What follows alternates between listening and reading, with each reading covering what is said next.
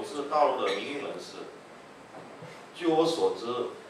大陆民运当中有不同的系统，有几次在台湾就是说大陆方面的人聚合，每次聚合，中共的国安部门都对我们的了如指掌，因为他们进来肯定要有落台证，所以任何人要落落台证，这个资料是。应该说不可能说有某个民营系统、某民某个民营组织，它可能有共谍渗透，但不等于说某某每次都有。那这个这次是吴章吴章玉教授是在警政署，然后我不晓得这边究竟是移民署还是警政署有这些资料，那如是不是仅仅是一个部门？这样就是我们大陆民营人士都资料，是不是有个专门部门？这样的部门是不是很保密？至于你们怎么调查，我们都是，我们没多少意见。但是问题是不能把这样的秘密给泄露给中共。我想这个渗透情况是仅仅是吴章玉这一部分吗？而且我们在台湾所遇到的情况还不仅仅是公务部门泄密现象，还有收买黑道跟社会人士。不知道，嗯，贵单位有什么更好的这个防范跟那个遏制的，或者是侦查的这样的一个态度？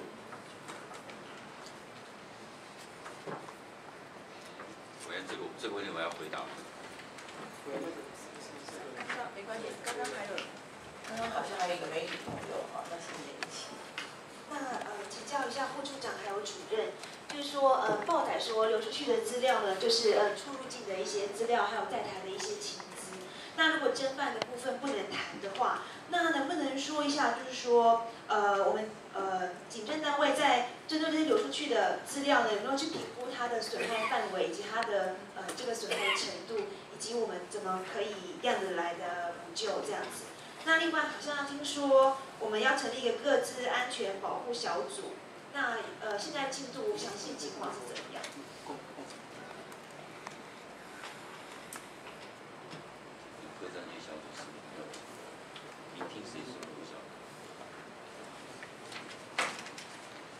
哦，对不起我跟大家讲一下，因为我等一下还有个记者会要赶到台北宾馆去，所以我们记者会大概三分钟内要结束。那我想哈是这样子，那个呃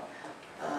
这个。李李副处长跟李主任哈，刚刚我们呃孔副秘书长请教的问题，我想就做一个意见交流。不过哈，孔副秘书长就是说我们在台湾的聚会，中国那边很快就会知道。我想跟他们那边的那个监听、网络收集的各式各样，因为我们以前我们也都遭遇过，就是中国那边也有他们自己在收集情资的网络。那这个，不过我在想，就是有一个问题，就我们自由行之后，我们开放两岸交流之后，那很多人知道我们真的很难得知他们的呃这个背景，呃他们可能来台湾，一方面真的是来观光，但是可能也顺便，或者是来这边有责任有任务顺便来观光，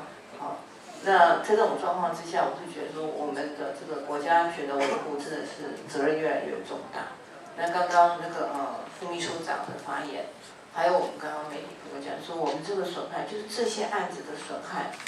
的控管，还有一点就是呃，当然法律这边哈，我我们立法院我们当要，如果说刚刚几位呃来宾有讲说要把这个法律修得更严格，那你们认为该怎么修？你们比我们，因为你们在执行这个工作，那边也可以跟我们建议，好，我们来提案，这个都没有问题啊。那嗯，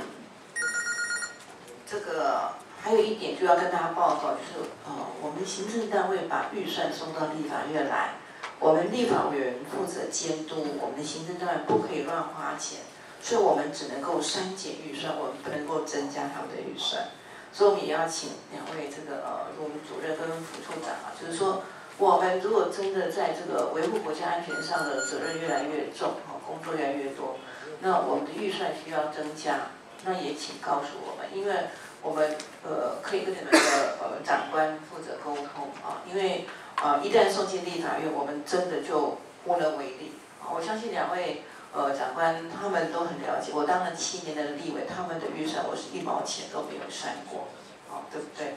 那但是呢，我也常常跟很多呃这个行政部门的官员讲说，你们要把你的工作做好，需要多少人，需要多少钱，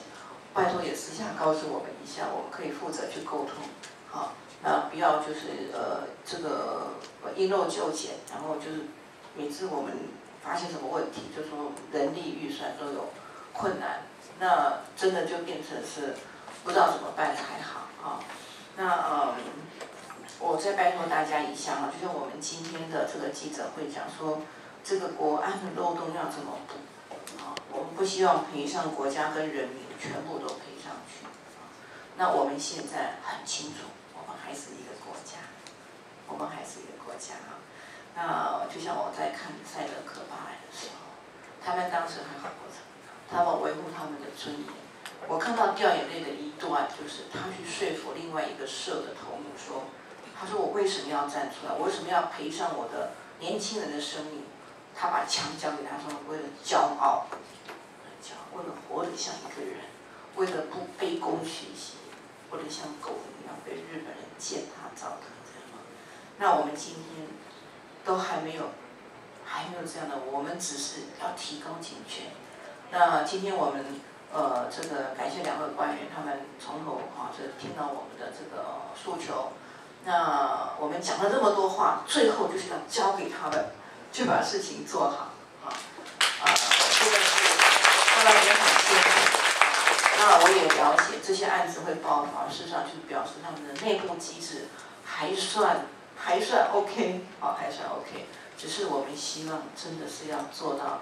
我们的国家为安，我国安漏洞要零漏洞。那我们的人民才真的有办法安心的在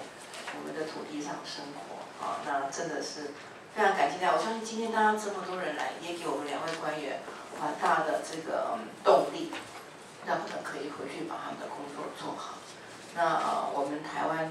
幸亏是一个自由的国度，所以我们的呃这个中国人民主党啊，今天在台湾啊可以讲出啊心里的话。那那这个我们也一样，不论你今天白天讲了什么话，你都不用担心任何人半夜来敲我们家的门。这个是一个福气，我们要好好珍惜这个福气，守护这个福福气，而且把它交给我们的孩子。再一次谢谢大家，好，谢谢我们一起共同努力，谢谢。